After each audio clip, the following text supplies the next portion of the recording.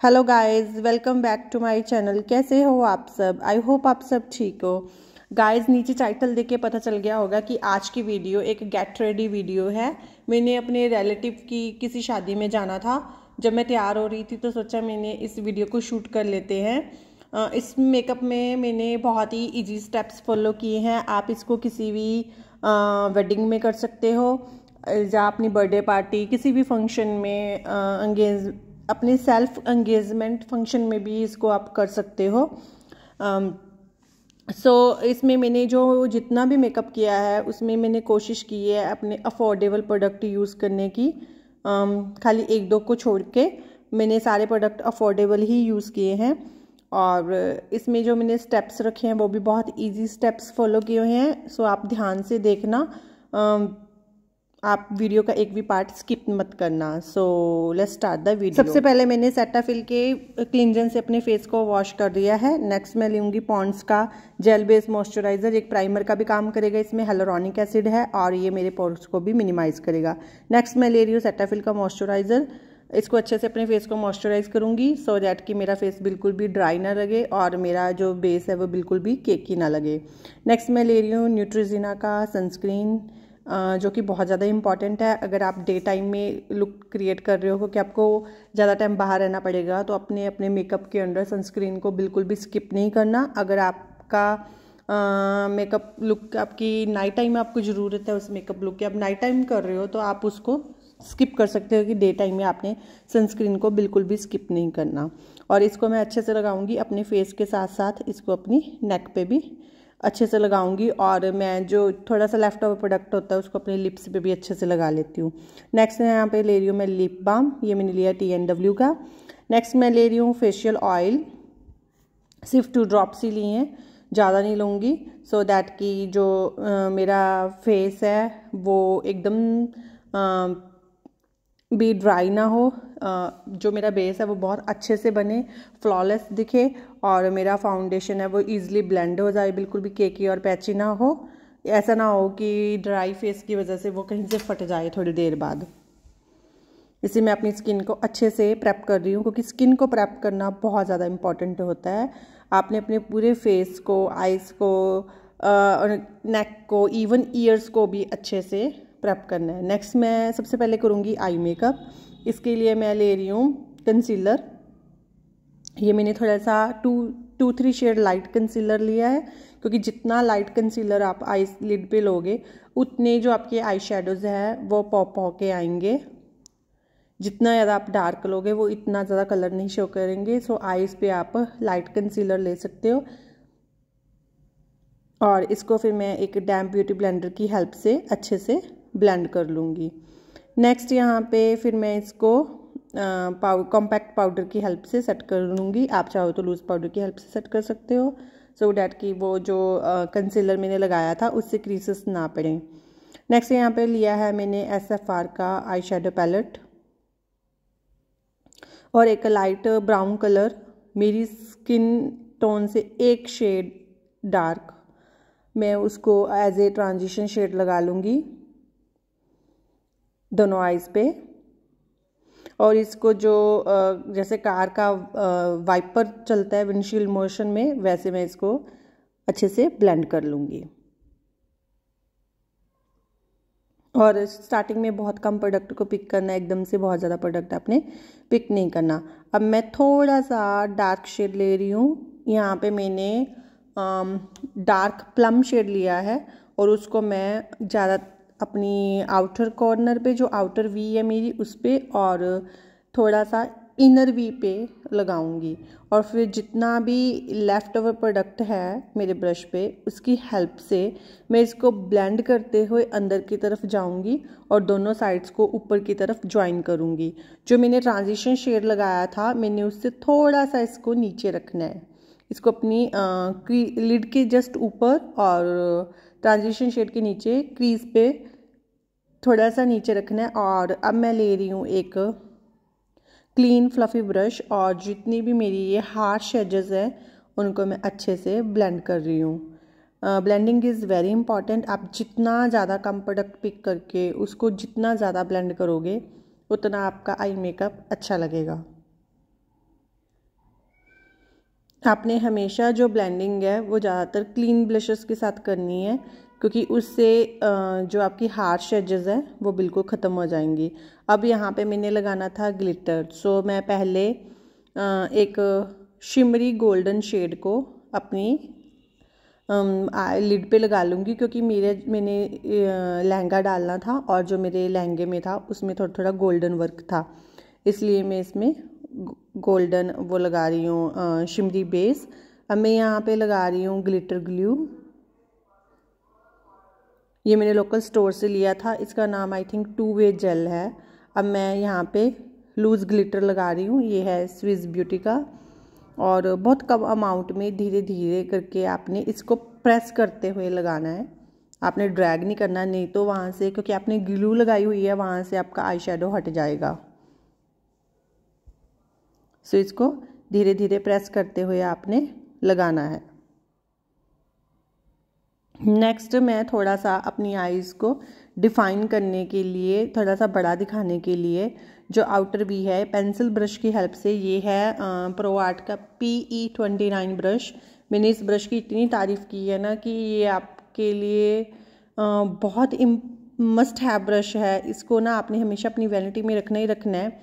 ये इतना अच्छा ब्रश है ना कि ये आपके जितने भी आइस के कॉर्नर होते हैं ना, जहाँ पे नहीं पहुँच पाता, उसमें भी ये अच्छे से फिट हो जाता है और वहाँ पे बड़े अच्छे से ब्लेंड करता है। This is a very beautiful brush इसके बिना मैं कोई भी अपनी आई लुक क्रिएट नहीं कर सकती। This is very very important brush and next मैं ले रही हूँ यहाँ पे नाइका का काजल। अब मैं काजल से ही बिल्कुल अपनी लैश लाइन के पास एक लाइन ड्रॉ करूँगी क्योंकि मैंने लगाना है फॉल्सिस लगानी है मैंने सो so दैट कि वहाँ पे कोई भी ग्लिटर स्टिक ना हो और वहाँ पे मैं अच्छे से अपनी मेरी जो आई है वो स्टिक हो जाए। नेक्स्ट यहाँ पे ले रही हूँ मैं मिस क्लियर का आईब्रो केक और इसमें एक डार्क ब्राउन शेड की हेल्प से मैं अपनी आईब्रोज को फिल कर रही हूँ। जब भी आईब्रोज करना आपने हमेशा सेंटर से फिल करना स्टार्ट करना है। जैसे मैं कर रही हूँ, मैंने सेंटर से स्टार्ट किया है।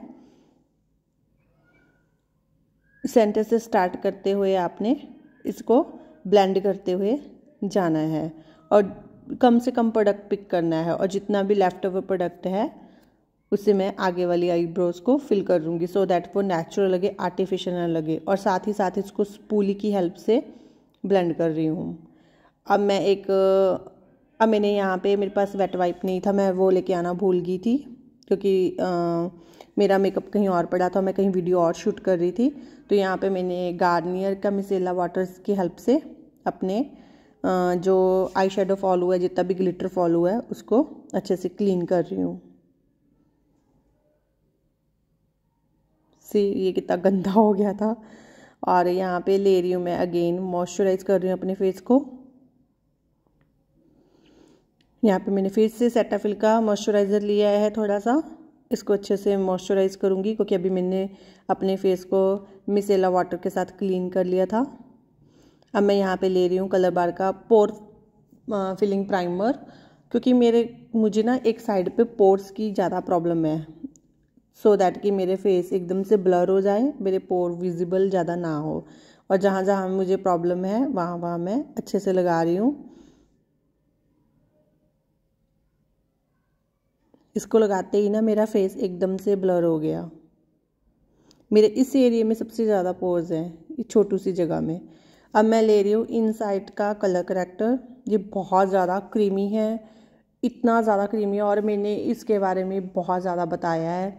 आ, कोई भी हाई एंड कलर करेक्टर लेने की ज़रूरत नहीं है। दिस इज़ सो ब्यूटीफुल इतना क्रीमी है बटरी स्मूथ है एकदम से अच्छे से ब्लेंड हो जाता है और पिगमेंटेशन इसकी बहुत सही है। बहुत ही ज़्यादा ब्यूटीफुल है, इतना सुंदर फार्मूला है इसका। और जितना भी यहाँ पे मुझे एक्ने स्पोर्ट्स है, वहाँ पे लगा रही हूँ, थोड़ी अंडर आईज लगा रही हूँ, वैसे मुझे इतनी ज़्यादा अंडर आई की प्रॉब्लम नहीं है। बट फिर भी मैं अपने बेस को कि मेरा वो जो फेस है वो थोड़ा सा फ्लॉलेस लगे, इसलिए यहाँ पे लगा रही हूँ। और इसको अपनी जो फिंगर थी उसी के साथ ब्लेंड कर रही हूँ। नेक्स्ट क्योंकि अभी मैंने मॉइस्चराइज़र भी लगाया हुआ है और कलर करेक्टर भी। सो so, मैं यहाँ पे अपना कॉम्पैक्ट पाउडर बहुत ज़्यादा कम अमाउंट में लेके अपने करेक्टर को सेट कर रही हूँ। आप सोचोगे कि मैंने पहले क्यों सेट कर लिया? मैंने वो फाउंडेशन लगाना था क्योंकि मैंने इसलिए सेट किया अगर मैं डायरेक्ट फाउंडेशन इसके ऊपर लगा दूँगी तो मेरा फाउंडेशन ऑरेंज कलर का दिखेगा। सो मैंने इसलिए किया गया है सो दैट कि जो मेरा कलर करेक्टर है, जो मेरा बेस है, वो सेट हो जाए फाउंडेशन में मिक्स ना हो। अब मैं इसके ऊपर लगा रही हूँ कंसीलर सबसे पहले मैं जो मेरे एक्ने मार्क है, या मेरी जो अंडर आई डार्कनेस है, थोड़ी बहुत, उसको मैं हाइड करूँगी। यहाँ पे मैंने मेबलिन फिटमी का कंसीलर की यूज़ किया है। सेम मेरा स्किन शेड है, वो उसको लिया है। अब मैं इसको अच्छे से ब्लेंड कर लूँगी। ब्लेंड मैं इसको पैट करते हुए कर रही हूँ ड्रैग नहीं कर रही, खींच नहीं रही, नहीं तो वहाँ से मेरा जो प्रोडक्ट है वो हट जाएगा।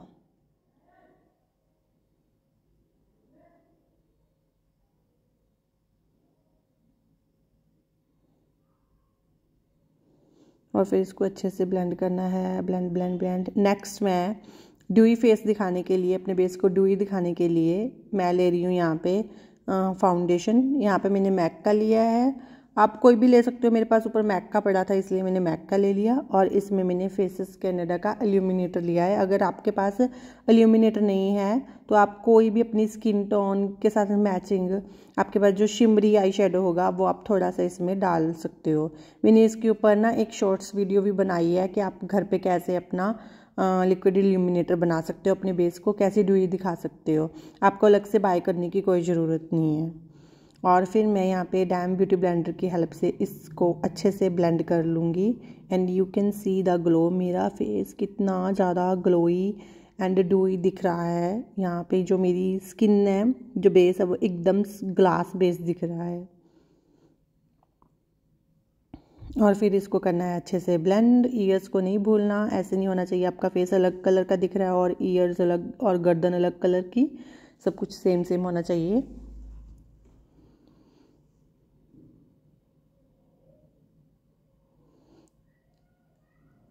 कभी भी अपने फाउंडेशन को नीचे की तरफ़ ड्रैग करते हुए मतलब ब्लेंड करना अदरवाइज़ वो अपनी जगह से हट जाएगा और वहाँ पे जो आपका बेस है वो फट जाएगा क्रैक हो जाएगा। सो so, कोशिश करो जितना ज़्यादा आप टाइम लगा सकते हो ब्लेंडिंग में उतना ज़्यादा टाइम लगाओ। सो so, यहाँ पे मैंने क्योंकि ब्लाउज़ पहना था तो उसका इसकी वजह से मेरा ये नेक दिख रहा था गर्दन दिख रही थी। तो मैं इसको अच्छे से ब्लेंड कर रही हूँ क्योंकि मैं चाहती हूँ कि मेरा फेस और नेक और ईयर सब सेम सेम लगे सब अलग अलग कलर के ना लगे। नेक्स्ट मैं अपने फेस को हाईलाइट कर रही हूँ। अब मैंने लिया है स्विस ब्यूटी का कंसीलर अब मैंने यहाँ पे टू शेड लाइट लिया है अपने एक्चुअल स्किन टोन से। अब यहाँ पे जितना भी जो मेरा हाईलाइटिंग एरिया है, वहाँ पे मैं इसको हाईलाइट कर रही हूँ। और मैंने यहाँ पे बहुत ज़्यादा कम अमाउंट में लिया है। ज़्यादा अमाउंट में नहीं लिया। एंड यू कैन सी मैं कितने अच्छे से आराम से प्रेस कर कर के इसको लगा रही हूँ। बिल्कुल भी ड्रैग नहीं कर रही। इससे आपको जो जितनी भी, क्योंकि फाइन लाइंस हमारे सबकी होती हैं। और जब भी हम ऊपर देखते हैं मेकअप करते करते कई बार ना मेकअप करते करते ही उसमें क्रैक्स पड़ जाते हैं। अब देखोगे मेरे यहाँ पे बिल्कुल भी मेरे, मैंने पूरा दिन वेडिंग में अटेंड करके ना मैं जब घर को वापस आई थी तो मैंने चेक किया, मेरी एक भी फाइन लाइन नहीं पड़ी हुई थी, एक भी क्रैक नहीं दिख रहा था। मेरा बेस इतना फ्लॉलेस दिख रहा था, मेरा मेकअप स्टिल वैसे का वैसा रहा था। अब मैंने अंडर आइज़ को सेट कर लिया लूज़ पाउडर की हेल्प से। बहुत कम लूज़ पाउडर लिया था यहाँ पे मैंने। एंड नेक्स्ट मैं ले रही हूँ ओ टू ओ की liquid blush this is one of the my फे most favourite blush in the shade three और ये बहुत ही ज़्यादा डुई ब्लश है and this is very very pigmented आपको जब भी इसको अप्लाई करना है, बहुत कम अमाउंट में करना है। ये बहुत ज़्यादा पिगमेंटेड है। एंड इसके बाद लेकिन जो फिनिश आती है ना, वो मतलब कि एक नेक्स्ट लेवल ही ले जाती है आपके ना बेस को। अब मैं इसी में से मैंने एक डार्क कलर का आई शेडो लेके उसको मैं एज ए हाईलाइट यूज़ कर रही हूँ अपने सॉरी सॉरी कॉन्टोर कर रही हूँ अपने फेस को। थोड़ा सा एक चीज़ शेप देने के लिए मैं अपनी जॉ लाइन को कट कर रही हूँ। थोड़ा सा फॉर हेड को। फॉर हेड एक्चुअली मेरा ऑलरेडी बहुत छोटा है ज़्यादा बड़ा नहीं है। सो so, जितना भी लेफ़्ट ओवर प्रोडक्ट है सिर्फ़ उसी से कर रही हूँ। अब मैं अपने नोज़ को फिंगर्स की हेल्प के साथ कट कर रही हूँ एक लाइन ड्रॉ कर रही हूँ। जब भी आपने करनी है आपने सिर्फ़ नोज़ पे नहीं इसको अंदर तक ना जो अपनी आईब्रोज होती हैं, वहाँ से टच करना है, वहाँ से कट करते हुए अपने इसको लेके आना है। नेक्स्ट यहाँ पे मैं कर रही हूँ अपने चिक बोन को कट। यहाँ पे मैंने लूज़ पाउडर के साथ इसको कट किया है, एक शार्प लुक देने के लिए, एक लिफ्टेड लुक देने के लिए सो so दैट कि मेरा फेस थोड़ा पतला लगे चिजल लगे, और जो मेरे चिक्स हैं वो लिफ्टेड लगे। नेक्स्ट मैंने जो यहाँ पे अपना लूज़ पाउडर अप्लाई किया था आइस को बेक करने के लिए, उसको मैं डस्ट आउट कर रही हूँ और यहाँ पे फिर से ले रही हूँ मैं ये नायका का ब्लैक कलर का kajal. This is a very good kajal. बहुत ज़्यादा पिगमेंटेड है, बहुत अच्छे से ब्लेंड हो जाता है। एंड नेक्स्ट यहाँ पे ले रही हूँ मैं कलर बार का पेंसिल ब्रश और इसकी हेल्प से ही मैं इसको अच्छे से ब्लेंड कर लूँगी। और यहाँ पे मैंने जो मैंने प्लम शेड लिया था डार्क कलर का, उसकी हेल्प से मैं ब्लेंड कर रही हूँ। नेक्स्ट यहाँ पे मैं ले रही हूँ हाइलाइटर ये ले रही हूँ मैं मैक का। This is very very beautiful highlighter इसमें ना बिल्कुल भी चंकी पार्टिकल्स नहीं है। ये इतना खूबसूरत हाइलाइटर है ना। और इससे मैं अपने नोज़ को हाईलाइट कर लूँगी। और आइज़ के इनर कॉर्नर्स को सो so दैट कि मेरी आइज़ ओपन लगे कि मेरी आइज़ खुली खुली हैं बड़ी बड़ी हैं। एंड uh, मैं अपनी चिक बोन को और यहाँ पे ना सी बनाते हुए करूँगी। सो so दैट कि ना ऐसा ना लगे कि हाई मैंने यहाँ पे कुछ लगाया है। वो एक रिफ्लेक्शन दे कि मैंने ना एक इल्यूज़न हो कि मेरे नेचुरल वो हाईलाइट कर रहे हैं और ऊपर तक का मेरी स्किन के अंदर ही ऐसे हो रहा है। मतलब कि उसको एक कंटिन्यूज रखूँगी सी बनाते हुए ख़त्म करूँगी, ऐसे नहीं है कि सिर्फ़ चिक्स के ऊपर ही थोड़ा सा लगा लिया। अब मैं अपनी कॉलर बॉन को हाईलाइट कर रही हूँ।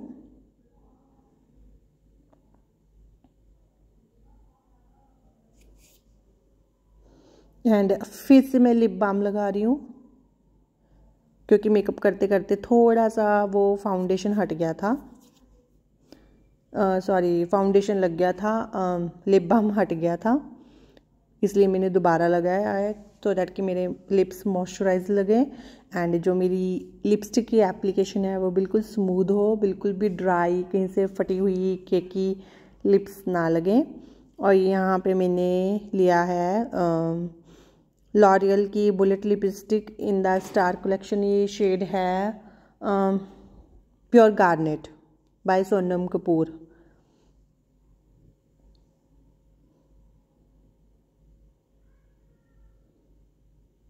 अब मैं मेकअप फिक्सर को सीधा डायरेक्ट अपने फेस पे नहीं लगा रही। अपने फेस को बहुत ही अच्छी डुई फिनिश देने के लिए ना। आपने जब भी हाइलाइटर लगाना है, उसको अपने ब्यूटी ब्लेंडर पे स्प्रे करके, वो थोड़ा सा उसे अपने ब्यूटी ब्लेंडर से सेट करना है। इससे ना जो आपकी मेकअप की लुक है ना, वो एकदम से चेंज हो जाएगी। आपका बेस एकदम से लुक चेंज हो जाएगी उसकी। वो ऐसे लगेगी जैसे आपका नेचुरल स्किन है।